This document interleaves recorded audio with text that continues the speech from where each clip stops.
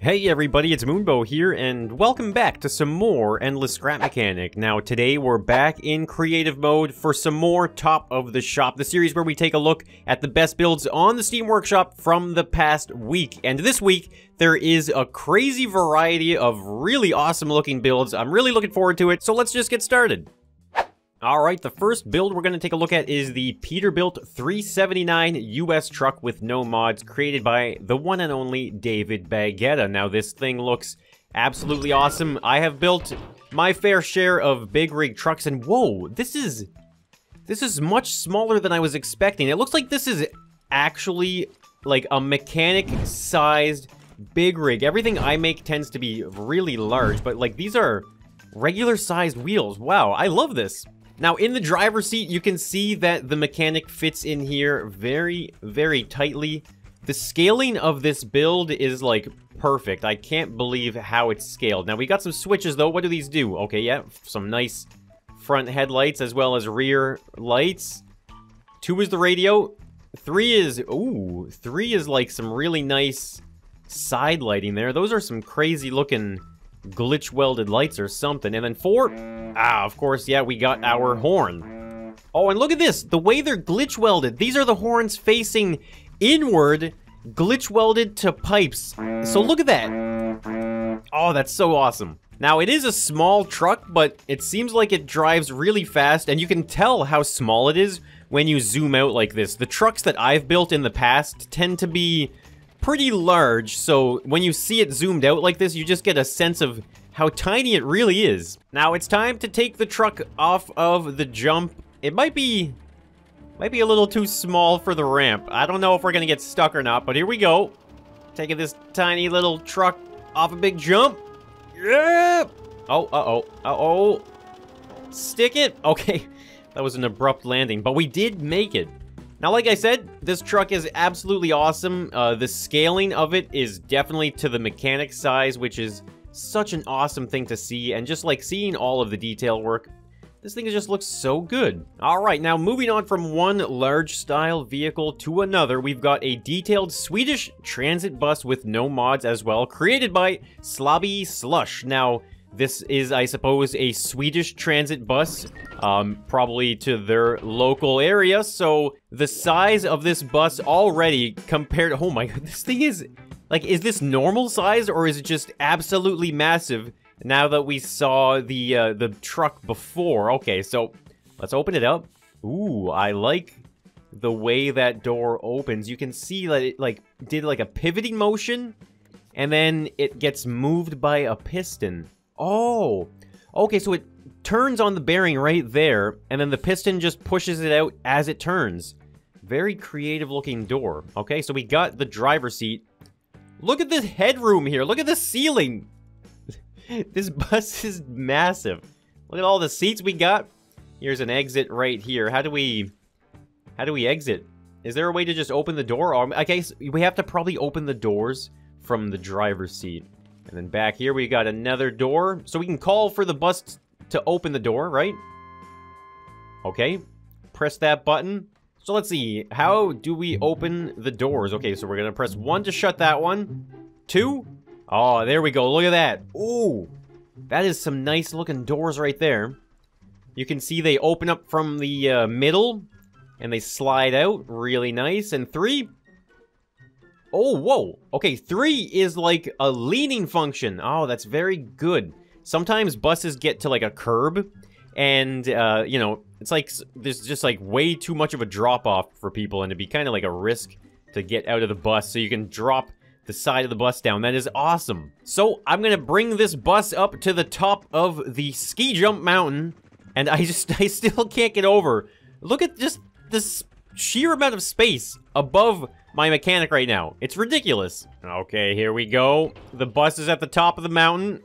Now, this one might get stuck. I was thinking the truck was going to get stuck, but this has a pretty, like, large front end here. So, I don't know. And look at, like, we almost just hit the ground right there. Oh, man. Okay, this thing is huge. Here we go. Uh-oh. Oh, my God. We're getting some speed, though. Oh, no. I knew it.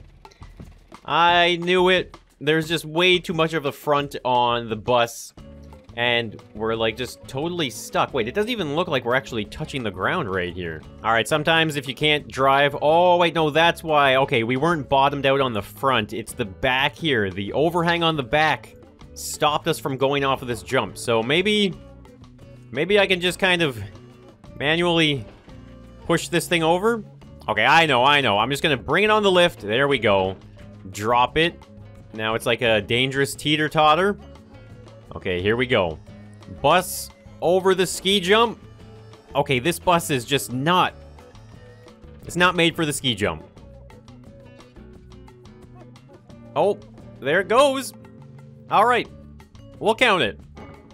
All right, now next up on the lift, we're going to be taking a look at a thing. It says here it's called Heli 10.8. Now, this is actually a swashplate helicopter created by Santa. Now, this uses the wing mod for lift as well as for the flight controls as far as I'm aware. So let's just spawn this thing in. Wow, look, it's got chairs on the side here. I guess you could like sit on the side landing gear. That's crazy. Uh, so as you can see though, we've got the wing mods on the top there. We've got dual rotor, and then above it, we've got the swash plate. Now, the swash plate is used to change the angles of the blades in very specific ways to allow for flight controls. Now, I don't know how this is going to work, so let's just try this out here. We're going to press one. Okay, they're spinning. We're going up. Oh, man, look at this. We're already going up. So I'm just going to try W, A, S, and D and see what happens. Okay, whoa. Okay, stop, stop. Okay, that actually did something. Look at this. So when I press A and D, you can see my character's turning the steering handles there. Look at the, like, look at the swash plate. Look at that. It gets moved. Very subtly, but there is some movement there. Now, what happens if we press W? Oh, look at that. This is insane. All right, so we know that one is going to spin the blades. Now, what happens if we press two? Oh, whoa. We got like some wings in the back here that rotate. Okay, that's interesting. And then three. Whoa, I heard a piston and I saw a piston. Okay, there's something Oh, is that like, I think that's just like some weight transfer maybe? I don't know. Okay, we're just gonna try this out. Here we go. Taking off. Okay, we're going up. Now, uh, is there, what does three do? Okay, three did bring our weight to the front a little bit. But let's try out these controls here. It's super subtle. You have to be so touchy. Whoa. How do I bring it back to center? Okay, so how do we go up faster? Two, maybe? Oh, there. Okay, yeah, I guess it's two. Whoa! Two is going to bring us up faster. And maybe if I keep pressing W. Oh, there it is. Yeah, look at that. So with two on, we're now able to fly. Now, hold on, though. How do I... How can I rotate the entire helicopter? Right now, you know, I'm able to... I can control myself while facing in one single direction. But I don't know how to control my yaw. Yeah, I'm not, um, I'm not too sure how I'm supposed to be able to, like, control my yaw. I'm really trying to just, like, rotate the entire helicopter. Maybe... Okay, maybe I just have to do it manually. Look at that! I just did it! Wow! I just did that all on my own. I brought the tail down and then just rotated it. Wow, oh my... This is insane. I feel like I'm slowly qualifying for my piloting license in a helicopter. No, okay, that's not true at all.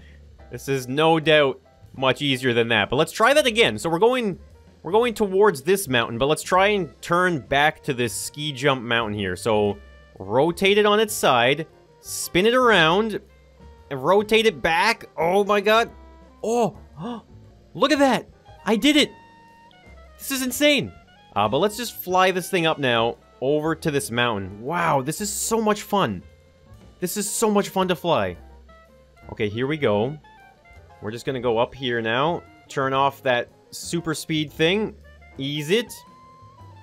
Oh, man. This is like... This is my favorite thing now. This is my favorite thing in Scrap Mechanic.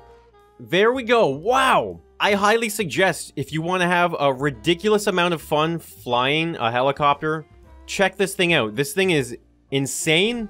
The flight feels so smooth. And it's just, it's probably one of the best helicopters I've ever flown in Scrap Mechanic, if not the best helicopter. All right, so we took the helicopter, we brought ourselves up to the top of a mountain. We got to get back down again. So we're going to be using this 2019 Mercedes-Benz Unimog truck created by Ladin. Now, it says here there's no mods as well. This is all vanilla, and it looks like a beast of a truck. So let's spawn it in. Oh, yeah, look at the size. Okay, so everything in this video now, for me, the size is compared to that first truck that we saw. And uh, so everything feels really, really large right now. But let's see, is that like a hidden switch? Oh, look at that.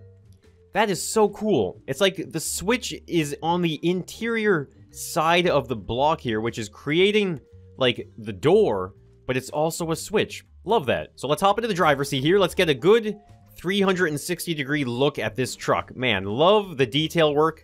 This looks like there is some glitch welding involved with this as well, and I, I love glitch welding. I think it does such a great job with uh, creating designs and builds. So, let's see though. We got a whole bunch of switches, so before we go down the mountain, let's press 1. Hold on, what did that do? What? One is, okay, one is the low gear, or the electric motor, or electric engine, rather. Okay. Two is the lights. We'll keep those on. Three. More lights. Let's keep them on. Four. Little tiny horn. And five is the door. Six is... Ooh, look at that. Six is the front hood. And it looks like we got ourselves a nice engine there. I like that. And then seven. Ah, nice. Seven is the tailgate. That's a perfect thing to have for a truck. All right, so let's get down the mountain. Now, this thing is really zippy, though. Look at that. This thing is cruising fast. Oh, wow. Very easy to handle. And, like, it, it feels like it would probably want to tip over, but, like, it just... It doesn't tip over. Every time I'm really cutting the wheels in, I always kind of expect, like, a little bit of a momentum shift, but there must be a decent amount of weight at the bottom of this truck right now. This is a very smooth ride. Okay, let's take a little bit of a shortcut, though. Oh, yeah. Look at that jump. The Unimog. Kind of successful. Nope. Oh, not successful. Now, a truck like this is something I imagine that you would want in survival. You know, it just... It has incredible amounts of power. The handling is really good. And in the back here, you could put a whole bunch of chests. You know, you could make it deeper, and you could put crates in there. You could put uh, the trapped farmers in there as well. Uh, this just has such a multi-use capability in a world like that. I love this truck, though. Looks absolutely amazing. All right, the next build we're gonna take a look at is the cool stick I found in my backyard. It's the cool stick that you find in your backyard. This is created by Stealthy Green. Now, I remember when I was a kid, I mean, I didn't have trees or anything in my backyard, but I know what it's like to find a cool stick. And let's be the judge of this one here. is this is this a cool stick? Now, detail look at it. Look at this. We've got, yeah, the beautiful branch system here. That branch system is immaculate. There's still um, what looks like a little leaf on the side of it as well. You know, I gotta say, this stick from the backyard, solid 10 out of 10. Now, next up on the lift, we're moving away from an epic backyard stick to another epic creation. This is the Altai Recalcitrant guard tank with no mods created by Chemo Effendi. Now, this thing looks absolutely insane. It's got some crazy sci-fi vibes going on. Just look at the smooth exterior. Oh, whoa, look at that. We've got a little window right there. Really like that. Now, one of the most fun parts of a tank in Scrap Mechanic is figuring out how to get inside here. Okay, by looking, I can see we've got some explosives in there. Well, that's dangerous, but I guess uh, we'll have to be careful for that. Now, yeah, where is the seat? Okay, here we go. I think I found it. What? Look at this thing. Oh, that looks cool. So I think that's just the hatch, right? And then we go in. Oh, it's closing on its own. Okay. Okay. There's a seat here. Um, I guess I'll just hop into this one. This must be the driver's seat, right? Okay, so let's see now. W. Whoa. Oh, man. This is a crazy tank. Look at this. On the front, there's like small wheels. And oh, wow, they go down when I try and reverse. Now, I'm having a hard time going down that, but let's try this out. Okay, a little low to the ground. But it looks like we might be able to get over this hill. Come out. Okay, whoa. The tank looks amazing. I think the ground clearance...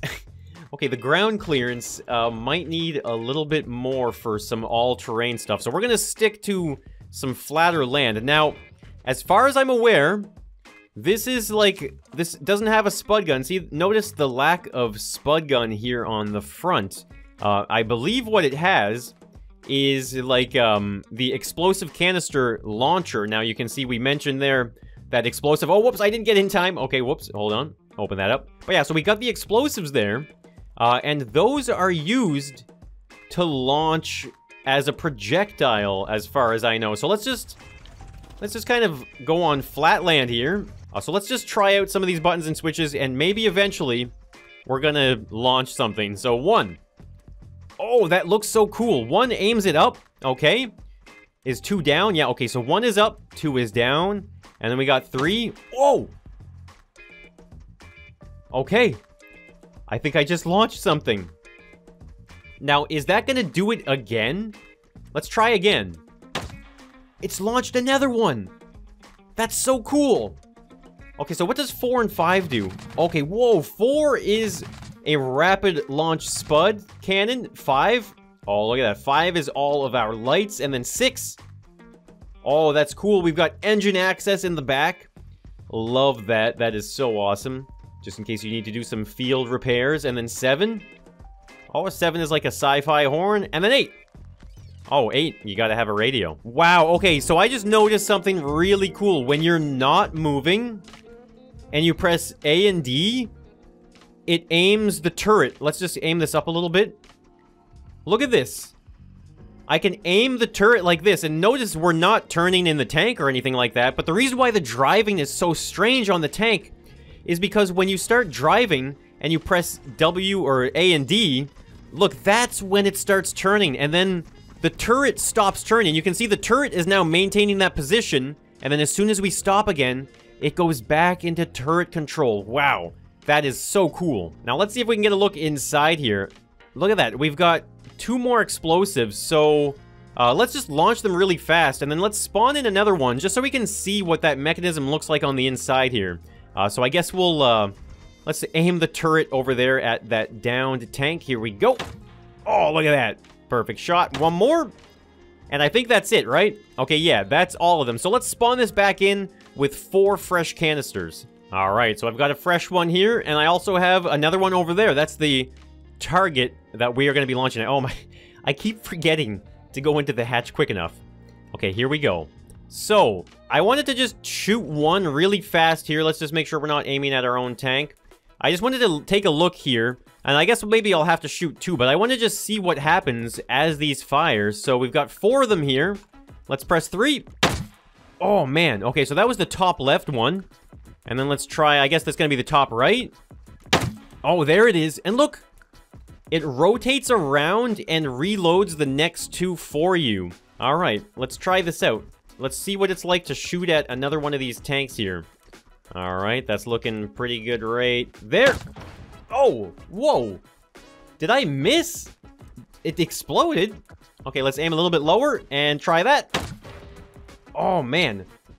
I don't understand what's happening there. Is this thing just not taking any damage? Alright, we're gonna try that again. Um, I don't know what's going on, if I'm just not able to blow them up or what, but let's try it out. Where did that... Okay, I don't even know where that went. Let's just try and aim it straight at it here. Okay. What?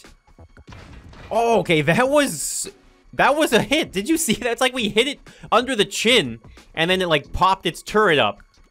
That was so weird. Let's see if we can't... Like, you have to aim really down, I think. Really down. Try that. Oh, look, see, yeah, that one went right over it. I don't even think... Yeah, okay, that's crazy. Either way, that is so awesome. Look at the crazy damage we did to this thing. There's like... There's like no tank left whatsoever. Now, next up, we are going to be taking a look at something that looks absolutely insane. This is the Osithis Exo MD300 created by the Evil Sith. Now, it looks like this is like an exosuit style mining vehicle uh, that could be used in survival. Now, as you can see, we've got a saw blade on the left arm. There's a drill bit on the right arm. No wheels. This thing looks like it is a walker, so let's just see what this thing is all about. Okay, so first you can see we got three suspensions in the back. I'm imagining that those might be used for suspension glitch. And whoa, is it like slowly falling forward? Look at that. This is a weird looking vehicle. All right, let's just hop into the seat here. Now, is it just W controlled? It is. Look at this. Oh my god, it's kind of cute, isn't it? Okay, and it turns, right? Oh, whoa, yeah. Okay, suspension turning for sure, which is very useful though, because, um, you know, you just, you don't want to have to try and actually use your steps to turn in Scrap Mechanic, trust me. Uh, so we've got four switches though.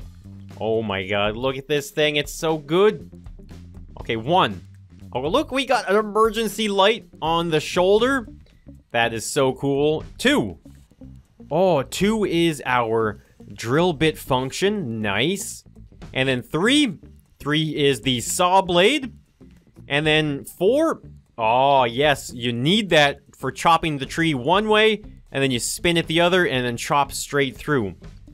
This thing is so cool. And I love the, like, pace of the walk. I, I find sometimes walkers in Scrap Mechanic, uh, they tend to, like, step faster than they should be when you, like, look at it, like, as an animation cycle, let's say. Uh, but this, like, the walking is just such a nice pace.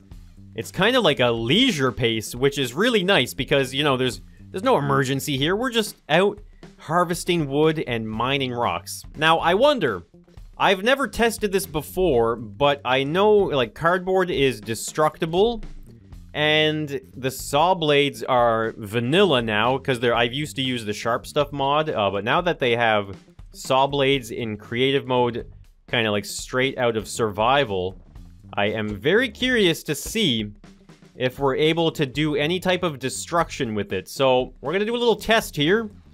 Which one's the saw blade again? Okay, no, that's the drill bit. Okay, there's the saw blade. So let's rotate the saw blade.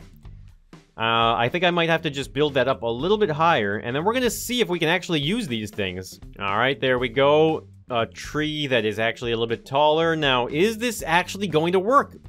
Let's find out. Oh, no. Oh, wait, is it spinning the wrong way? Oh, hold on. Maybe it's just spinning the wrong way. I hope that that is the problem. Let's try this again. Oh no. Now I'm pressed right up against it here. Look at this. That is like, you do not get more contact than that, but the sparks look so cool. Look at those sparks coming out of there. I can't even, like, does that do that in survival mode? Either way, it would seem as though we are incapable of using the, um, the saw blade. Now, I guess, you know, for posterity's sake, we might as well check the drill bit as well. Okay, yeah, the drill bit's sparking too, but it doesn't seem to be doing anything. So despite the fact that it's not working in creative mode, like, I can see this thing being so much fun in survival. I've been wanting to do a tree harvesting mech for uh, quite some time now. I've got some big build ideas for my survival world. I know I haven't been doing some major progress in it, but I'm just kind of pacing myself with my grinding uh, and all that good stuff, just so I don't get too tired of having to, you know, do all of that stuff, but this thing is really inspiring.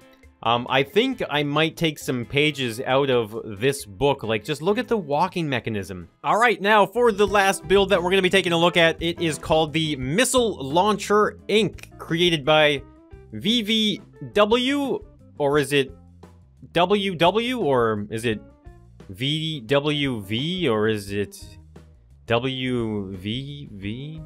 Let's try out this Missile Launcher Inc. Okay, there we go. Uh, so I guess maybe we're gonna have to sit in time some type of a seat or something. Okay, hold on. Whoa, look at this. That is a crazy looking missile. Now, is there even a seat? Okay, no. Wait, it said... It says just hit the keys from 1 to 2 to 3 to 4. Where... Where are these keys? Okay, I'm just gonna press this. Okay, that's a door. Okay, good. Um, is this anything here? Can I... Is this... Okay, no, that doesn't spin or anything. Uh, let's see. So where are these keys at? Okay, there's one, two, three, four. Okay, so maybe it's like, uh, yeah, you can see it's like kind of like key switches here. So it's like we have to activate the keys all the keys need to go in before it launches, maybe. Um, now, I guess this is just the angle we're to launch it at. Uh, maybe let's try and... Uh, let's try and rotate it a little bit so we can, like, hit it at the side of that mountain. Okay, this thing is... This thing is quite heavy. Okay, there we go. It's now facing the mountain. Uh, so it says press one, two, three, four, spacing them out. I just, I'm to read this again. Okay, yeah, one, two, three, four, one second. And then it's to launch. Okay, so one, two, three, four. Oh, oh, something's happening. Oh, God. Whoa. Look at that. That was awesome. That happened really cool. I thought it was to happen without me noticing, but it had like a countdown and everything. Now what does this switch do? Oh, look at that. There's another door on the other side. Now that happened pretty quickly though, so let's try... Uh, let's try one more, and I guess I'm gonna just kind of like aim it uh, maybe in a little bit more of like an open direction, uh, simply because I want to see like how far it's gonna fly or like what kind of arc it might have while it's flying. So let's try this again. One, two, three, four. Okay. Here we go. Launch number two. Oh, this is cool. Okay. There it goes. Oh, man. Okay. It hit this. It hit the side of the world. It just kept going in a straight line, pretty much. That's pretty accurate. All right, so I'm going to spawn it in for one more launch. Let's face it in the right direction here. Okay, so I just want to get an idea of, like, the explosive power of the missile itself. So I'm just going to make sure we're lined up straight here. Okay, yep. And I'm just going to make a wall, and we're just going to drive the missile right into the wall. All right, that's a pretty big wall. Is this going to be enough? Okay, yeah. Looks like this is aiming right at it. Now, I don't know exactly. This is like, I think this is an explosive from the More Bombs pack or something. Uh, so I don't know the real power behind it, so I just want to do a little test to see what it's like. Here we go. There's four. Oh, man. Just, I love the pre-thrust. Look at this. When the thruster turns on, yes! Oh my, whoa! Oh! Oh, wow. That was a bigger explosion than I was expecting. Alright, so that is going to be today's episode of Top of the Shop. I sure hope you guys did enjoy these builds. They were absolutely amazing, as always. Uh, and if you guys did enjoy the video, then let me know by hitting that like button. And if you guys want to tune in for some more Endless Scrap Mechanic, as well as Scrap Mechanic Survival, then be sure to subscribe to the channel, uh, and maybe even turn on some notifications so you get the latest and the craziest coming from me in Scrap Mechanic. Now, I'm here strapped to this missile, I think it's time we take it for a ride, so let's just press all of these switches one at a time. Here we go. So thank you so much for tuning in, everybody, and I guess I'll see you in the next one. Maybe. Oh, jeez.